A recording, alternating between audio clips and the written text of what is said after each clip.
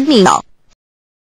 也我大惊其从楼道时会详细解说。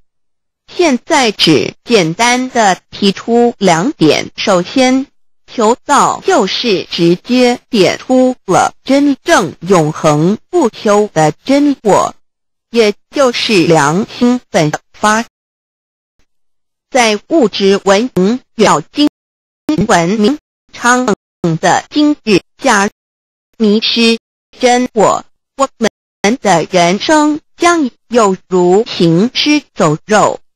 若是真假为真，更是我们为了盲目满足假我而做出害己害人的事情，造成自己在时与死的危迫。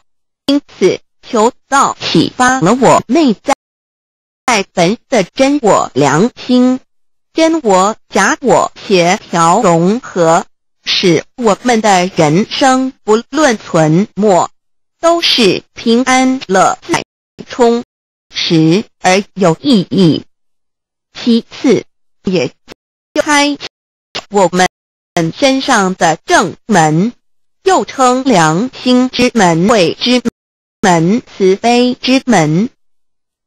个门非常的重要。当我们要离开间子时，然大门离，或次门无法开启，而被迫从窗户或阳台跳出时，就